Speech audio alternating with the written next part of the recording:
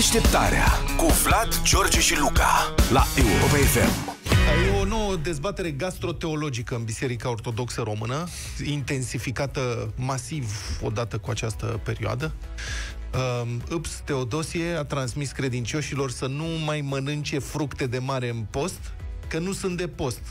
Practic sunt de dulce cum ar veni. Pentru că, vedeți, există discuția asta că Biserica Ortodoxă Elena și Așa. Biserica Ortodoxă din Rusia permit halitul de fructe de mare în post, Adevărat? dar în România, da, vezi? Seama, Un bă, nou sunt, motiv. sunt fructe. Da. Păi fructe, da. Bun, în Rusia nu știu ce fructe de mare se mănâncă de fapt, E. dar în Grecia cred că au fructe de mare. Dar eu imaginez momentul din biserică, știi? Când vin doamnele la împărtășanie și la spovedanie și întreabă Preasfinte, dar un homar avem voie. Nu mai mâncați homar! Nu mai mâncați langustă, o caracatiță mică măcar am putea. Nu aveți voie, este de dulce, mamaie, nu mai păpa caracatiță, nu mai... Îți dai seama, prin satele Constanței pe acolo, cum este nebunia de pe lume. Toate drept credincioasele se îmbulzesc să pape creveței. Creveți. Da. Dar aș întreba măcar dacă îi, Oici. îi, fie, îi fierbe în, uh, în aghiazmă. Adică să prepari homarul la aghiazmă, nu, nu prea sfințește. Nu merge că se evaporă credința. Din Se uh, evaporă în credința. momentul fierberii. De da. sunt șocat că Rusia și Grecia, care sunt profund ortodoxe, mm-hmm. au dat această dezlegare la fructe de mare. Teodosie este mult mai profund ortodox decât Asta toți e clar. ortodoxi și greci și ruși la un loc, îmi pare rău. Cu fructul de mare nu se glumește. E foarte limpede că nu sunt de post, a spus preasfinția asta.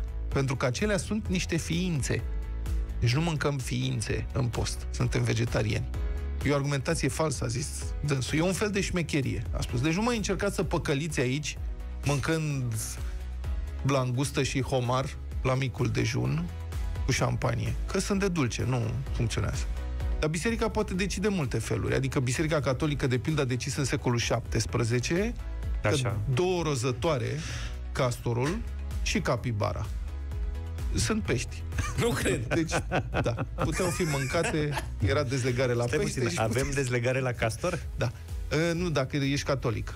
Am și asta înțeles. era o decizie mai veche, mă rog, s-a întâmplat în Quebec, unde băștinașii păpau friptură de castor cu multă poftă, le plăcea foarte mult și ei au fost foarte dezamăgiți. Când au trecut la catolicism, au fost creștinați, de-abia așteptau săracii. Deci ei trăiseră acolo de mii de ani și în sfârșit au venit europenii și au zis acum noi facem dreapta credință, trecem la catolicism mai.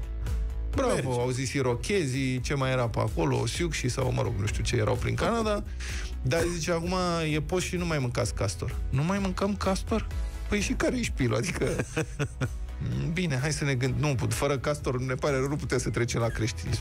Cum rezolvăm noi asta? S-au fi gândit Sfinții Părinței Catolici în secolul XVII și au zis, ce face castor? Unde trăiește el? El trăiește în apă. Păi dacă trăiește în apă, e pește. Deci, și au, au decretat castorul este pește, e dezlegare la pește și mâncați castor, că e pe post de pește.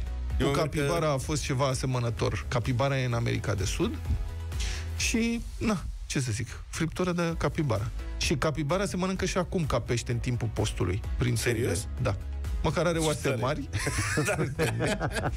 și de asemenea, în Nicaragua, altă țară catolică, biserica le dă voie localnicilor să mănânce supă de coadă de iguana în post. Aș fi foarte curios să văd ce gust are supa de coadă de iguana. La ce-or fi indexat-o? Da. Eu m-aș aștepta să dea dezlegare în- peste niște ani, când oamenii nu vor mai suporta, la carne de pui. Pe principiu că e albă. Ca aia de pește. Eu cred că în România ar merge mai bine să dea degla- dezlegare la cremvuș. Adică Biserica Ortodoxă ar putea spune cremvuștul e pește, pentru că el se fierbe în apă și ca atare dezlegare la... Da. Deșteptarea cu Vlad, George și Luca la Europa FM.